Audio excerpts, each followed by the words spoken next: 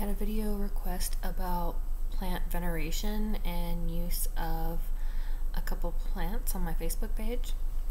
And so the ones that were asked about was garlic, tobacco, and Saint John the um, or John John the Conqueror root.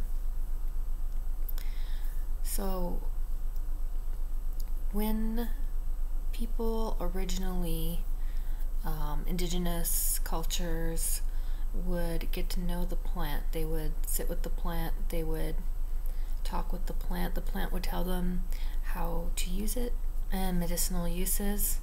Of course, there's probably some trial and error.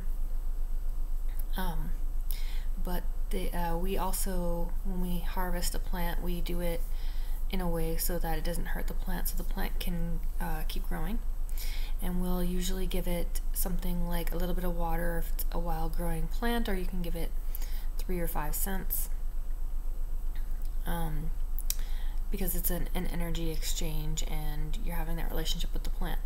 Also, um, certain traditions like uh, Palo and Osanistas believe that the plants sleep from uh, certain hours, so you need to know those mysteries. Um, besides, it's just best to harvest plants um, in other traditions at certain hours, like farmers, because the plants hold more of the uh, energy.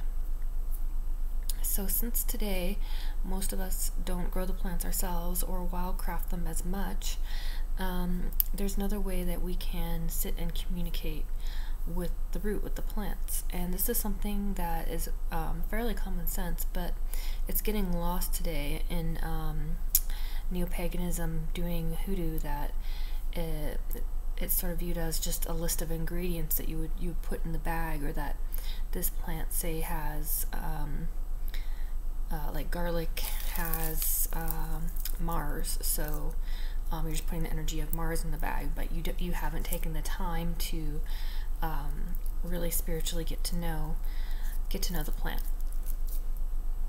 So what you can do is light a white candle and have a clear water glass. In voodoo, uh, you'll have a white candle and a clear water glass, basically with almost everything that we do. And you can sit and do spiritualism and communicate with uh, the plant spirit. Uh, we pray and we ask for the powers that the plant spirit has. So we name the attributes uh, that we're looking for the plant to help us with. And we also can ask God to help empower the plant. Um, the powers were given by God. Uh, but we ask uh, God for um, elevation and progress and light for that plant spirit, for it helping because uh, we're animists. We live. We believe that spirits live in all things. That we're incarnate spirits. There's other spirits. There's spirits in plants. There's spirits in rivers. Everywhere. So this will help its spiritual evolution. Evolution. So the first plant asked about was oh yeah, and that's recently was something that um, John the Conqueror was saying is that a lot of people just he's a very generous plant and he likes to work because he's rumored to be a Congo slave who was son of a Congo king until Congos like to work. So he's very generous and likes to work, but he says that not a lot of people actually um, take the time to work with him as a spirit because it's rumored that he leapt into that root. Uh, that root probably had um, spiritual value to the natives that live in the area, and they come in male and female um, parts. This one has a piece sticking up. I'm not sure if that's significant, but this is a male one because it's bigger than the smaller ones. And sometimes people work with them in pairs with the, uh, male and female, sort of like um, lodestones. This one I got from Alex Jen, um, Art Obscura. He's got a pretty cool little uh, store. It's online, uh, located uh, in Texas. So I'm not as common with that one because that's more of a hoodoo root. So maybe other people can teach you more about it. But it's it's basically a master root. So it's good for domination, for love, for luck, for protection. Um, all, it works for basically can do almost everything. Works for a lot of things. Garlic is uh, rolled by fire, and you can burn just the skins and eat the garlic cloves. This is uh, what you would find in most grocery stores is a female garlic. So ajo macho, A-H-O-A-J-O is garlic, macho male, are actually the Mexican, the circular small garlic that you could find at uh, Mexican um, stores, botanicas, um, and that's more the masculine one, but they both have the same qualities of uh, Mars and fire, exorcism, protection, and they used to use garlic against vampires. And it's against basically like energy vampires and uh, negative energy as well. And what they also used to do in indigenous cultures is they would um, ingest part of the plant. Now you have to be very careful with some plants are obviously very toxic. Um, so there's a lot of safety and medicinal knowledge around plants too. Um, so for most of my medicinal, for most of my healthcare needs, I, I do uh, all natural unless I, ha I have to um, take something more serious. But um, so garlic's against you know colds, um, helps you process fatty foods. Um, so you could eat a part of this garlic as well, and um, you take that knowledge internally, and it resides in your body, and you have more in communion, I guess, with with the plant.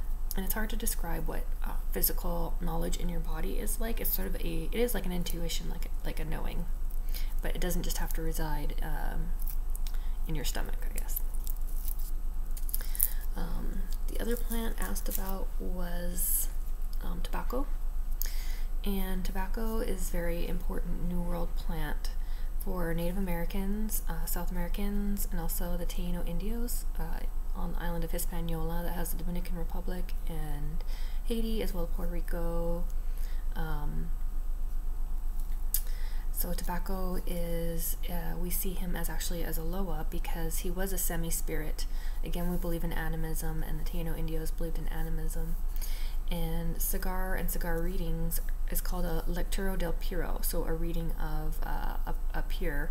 Uh, so this is obviously tobacco has the energy of purity, so we will cleanse our altars and our sacred objects when we're preparing objects. Uh, people, when they come to misa, we can um, usually light it and then put the lit in their mouth, and you can fan it over a person or jettison it over a person. And tobacco uh, is can be used it's basically a messenger messenger plant, purity, and also for um, domination and communication. So this is why we smoke cigars in misa and our folk seances because, um, like the Lakota with their peace pipe, it creates uh, an atmosphere of understanding and unity, and we need that unity of thought together because we even call our misas uh, reunions because we're reuniting with the spirit world as well as be having like thought together as the particip participants of uh, fraternity. And uh, charity actually the original uh, meaning of that was love of your fellow your, your fellow man so the very act of um, smoking a cigar obviously if you smoked a cigar before you don't really deeply inhale it so but the act of um, taking in and breathing out um, marries the internal and the external, um, the mundane, the our earthly world with the spiritual world. As well, the smoke goes everywhere, so it cleanses the environment, it helps embody spirits, as well as um, it's a messenger, so spirits from everywhere, from four directions of the universe or the four winds, that's also why we have, we call on the four horses of the four directions or of the medicine wheel for um, the spirit of tobacco, for the smoke to go everywhere and cleanse everywhere in, in our environment. So tobacco is very important plant. We only smoke, um, I like some flavored cigars and some spirits will like flavored cigars, but mainly for the purity uh, for the respect of tobacco. It's unflavored, as pure as possible. Cigars, so no cigarettes, no e e, e cigarettes. Um, if you're going to be seriously working with tobacco, uh, a, a tobacco, um, then you should probably give up smoking cigarettes just because that calls upon the more poisonous aspect of tobacco, and tobacco causes diseases because of all the modern man made chemicals we add to it because they didn't really have those levels of um, diseases before uh, Europeans came and uh, made this into corporate tobacco. So you never want to use um, cigarettes because it, it's the poisonous it's a poisonous aspect and he will cause disease if you abuse him. So i saw in one person's video they were using used cigarette butts to create a wash for their floor stoop and i wouldn't rec- recommend that. Um, you have to think about the usage of how you're using the using the plant. Um, so this person also asked asked about the four winds. That's a little bit of a separate video, um, but that is how it is related to the cigar because the cigar also um, the smoke goes up into the air and so it raises our prayers and our thoughts to the higher higher spirits and, and to God as a messenger spirit. And it also um, it's it's used it's just used in misa because it's a very communicative uh, plant. And uh, even when I used to smoke cigarettes and you take like a moment kind of for yourself just to think about something and relax it kind of alters your sense of um, space and time just a teeny little bit because there are chemicals in the plant. And they originally used um, nicotiana rustica but that's not what they normally grow for uh, corporate tobacco because the plant is not as hardy. So you can use loose leaf tobacco as well as long as it's not like have all the added like formaldehyde and, and all that in it. Of course, um, organic tobacco um, probably would be the best. I know Native Spirits has does have this those organic um, cigarettes, and I would just probably just um, maybe tear off the filter. I don't know. I only use um, I, I like cigarillos. I like the small cigars. Um, and for reading, maybe reading a cigar. For other things, I might use like a bigger, bigger cigar. So um, I hope I answered your questions. And um, these are really important plants, especially in um, uh, our temple and for this and uh, for the native uh, Taino uh, tobacco was really important. Copal was really important for incense. Uh, they burn the resin. I also use the incense sticks. And there's a difference between black and white copal, and um, they have different attributes as well.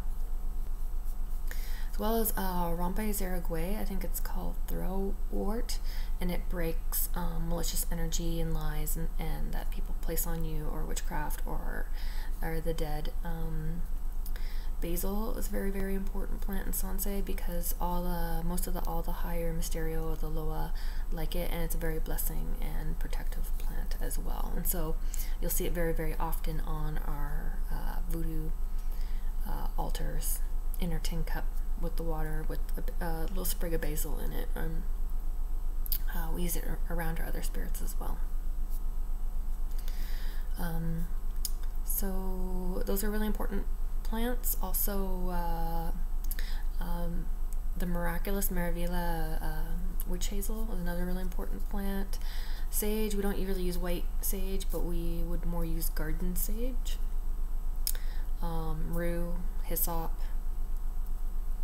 um, and bitter herbs. Um, you could we could soak them in alcohol, use them for cleansing, cleansing, cleansing ourselves just kind of like Florida water, but more of um, herbs because Florida water is more, um, it is cleansing, but it, it um, calls spirits and it will call both good and bad spirits. So I'll usually use uh, Pompeia lotion, cologne for um, more positive influence of spirits. And Kananga uh, water is also used for the dead, and that has mainly ylang ylang.